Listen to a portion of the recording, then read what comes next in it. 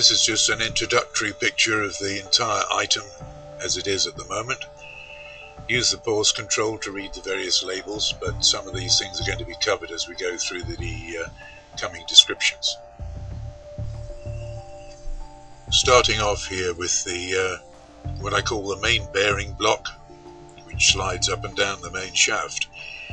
Uh, the annotation on there tells you pretty much what you need to know. It's uh, 2 by 2 by 1 which I cut off uh, from a piece of plate that I had. And this is boring out to accept the main bearing, which is quite a large one.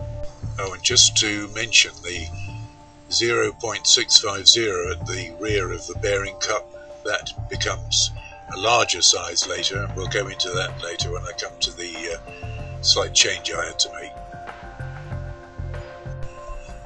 This now is with the bearing in place and the bearing inner diameter, which is uh, 675 5 eighths, is a little bit large, and we'll see later that we have to make a collar to uh, slide over the copper pipe to the main shaft. Now the block has been turned and uh, recentered in the four-jaw chuck, and uh, it was built, drilled through originally, just over a quarter inch or so, and then on this side the bearing pocket is being produced to take one of the two lateral bearings as we're calling them which will attach to a yoke or stirrup for uh, one of the planes of movement.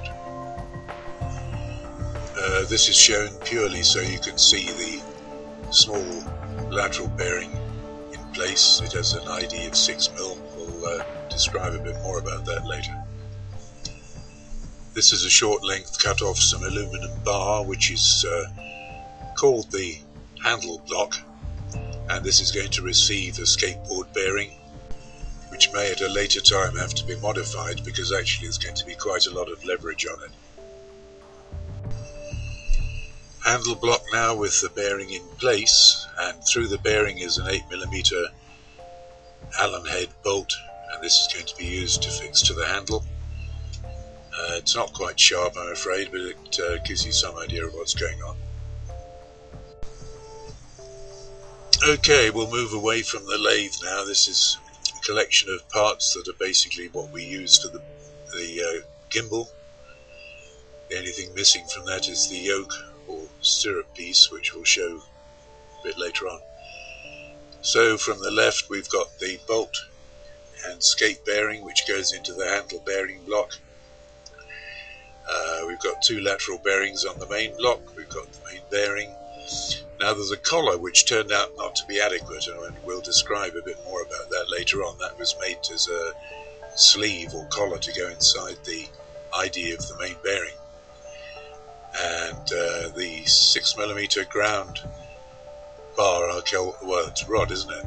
Six millimeter ground rod for uh, skate bearings, which was some, again something I had, very convenient. This is just a look at the uh, blocks with bearings in place and the uh, 6mm ground rod. Not quite sharp this picture but I think it'll do. So the handle bearing block is shown here and that's now drilled and tapped to take a couple of bolts for fixing to the yoke or stirrup.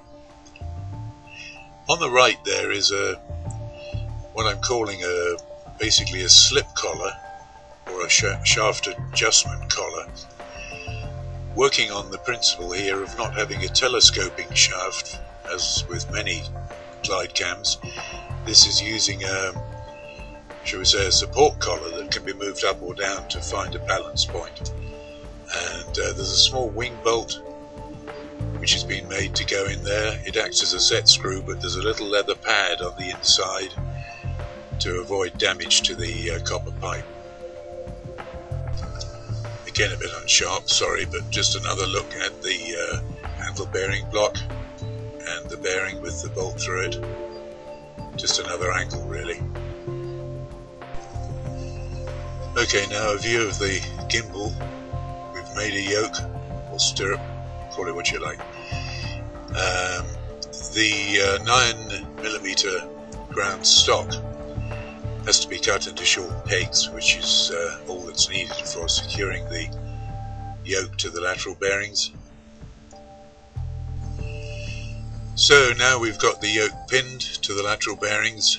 Uh, the piece of copper pipe is just a stubby piece for checking things out. You can see the collar hopefully around the copper pipe which is inside the bearing inner and uh, that has to be changed.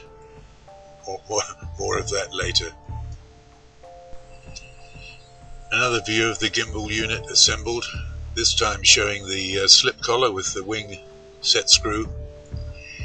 It might be noticed that the slip collar will bear directly on the main block and that's going to produce friction which is going to stop the main center bearing from rotating properly.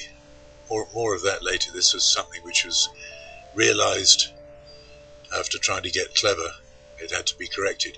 The spare holes in the yoke are just there in case they might be of use at a later stage to uh, adjust sensitivity, whatever.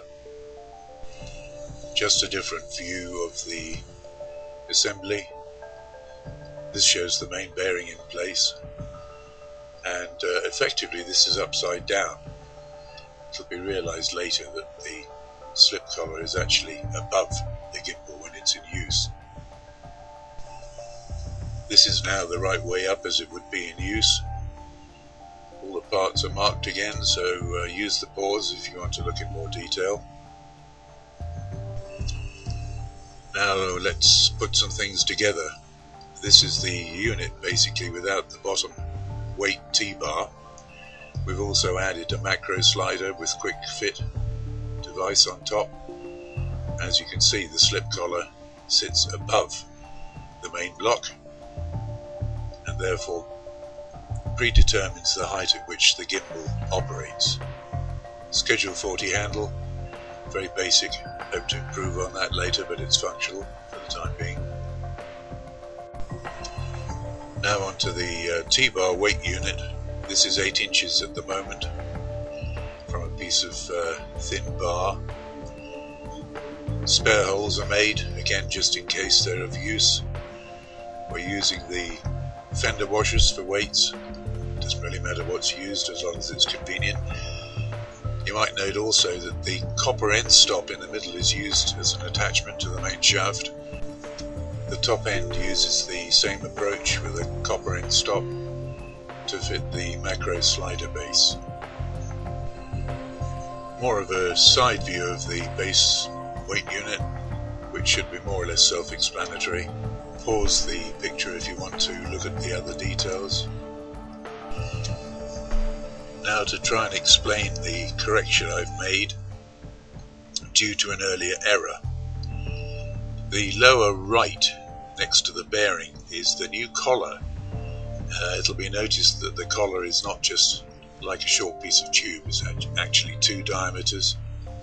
So the inner diameter is made to suit a sliding fit on the copper pipe the uh, smaller outer diameter fits the bearing inner and the larger diameter is what will go through the now enlarged hole in the main block and that will protrude by about a 16th or 332 to bear on the slip collar.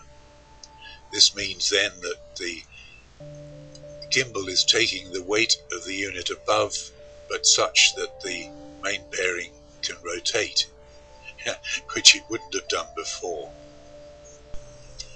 Just a close-up view of the main bearing with the new collar inserted. This is basically a top view.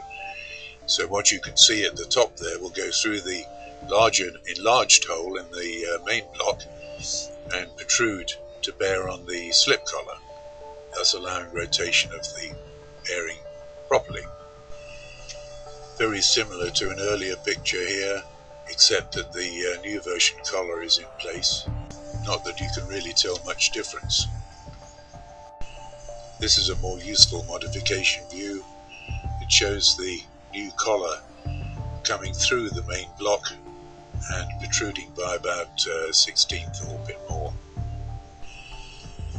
With the bearing the new collar now correctly taking top load, some means had to be found to secure the bearing in its uh, housing in the main block and this is just showing a spring retainer which was fortunately found the right size and uh, keeps that bearing in place. The uh, gimbal assembly again now but with the modification and uh, you should be able to see that the new collar protrudes by that small amount so that it can bear on the slip collar. Similar view but the slip collar is now as close as it can be to the main block and uh, you might just be able to see there's a slight gap. This means that the load goes from the slip collar to the new collar into the bearing and the bearing can rotate. Just a general view of the unit now, one or two points to make. The initial single macro slider has now got a second one attached at 90 degrees so that we've got forward and backward adjustment for the camera and side to side so no, no need to add balance weights. Uh, there's a rubber band underneath the gimbal unit that is purely a convenience so that when you let go of the gimbal unit it doesn't slide down very far. Uh, beyond that you can pause and just look at the other labels in case you need to. That last picture was actually a three-quarter view. This one is a side view. The camera's got its uh, viewfinder extended, although you can't see it very well. Now a bit more detail of the top end. Mostly self-explanatory if you look at the uh, various labels. It's planned ultimately to uh, paint all the metal pieces and finish them off a bit more the next stage is going to be testing in use. So there's a lot of work to be done on finding the ultimate balance.